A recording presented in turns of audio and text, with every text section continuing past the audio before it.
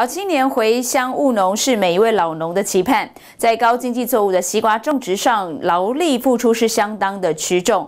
青农吴正佳对于在北部发展久了，发现回乡务农虽然辛苦，但是也非常的踏实。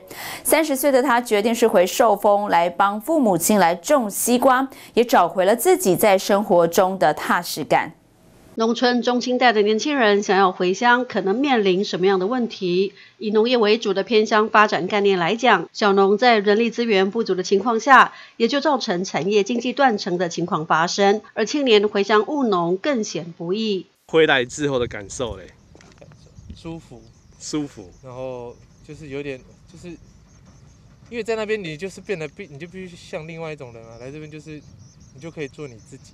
在西瓜园能够看到青农的投入，对部落的老农来说相当欣慰，尤其是自己的孩子愿意接班。今年比较少，我就没有什么请人啊，嗯就请我同学，还有两什么三个人，母子两个母在在一直在做这样啊。我儿子说不错，可是你要练要要学好啊，像我去年照顾的不好。没有说很漂亮。在双凤乡的东华大桥下，这一片四公顷的西瓜园种植了八千棵。对于青农吴正家来说，回乡务农反而是找到比较踏实的生活方向。开始学从一开始怎么整地到目前就是种之后，然后开始拉藤，然后开始顾这样，要做些什么呀？要打什么药啊？就是先记起来。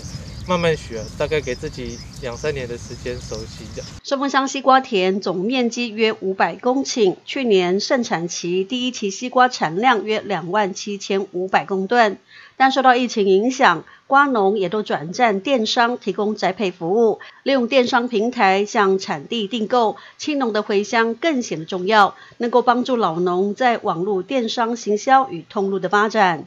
记者林杰寿丰乡采访报道。